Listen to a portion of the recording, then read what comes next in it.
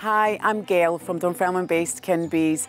In addition to creating delicious award-winning Scottish honey, I also work with other businesses on regeneration and carbon offset projects, supporting them to achieve their own net zero goals.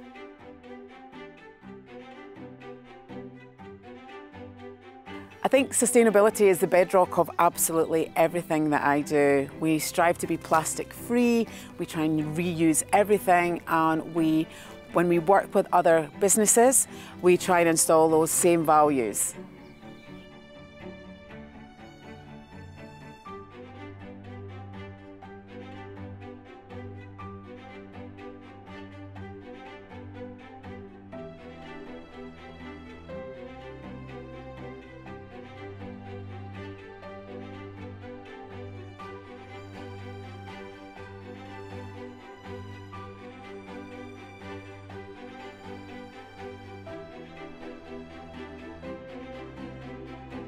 gorgeous.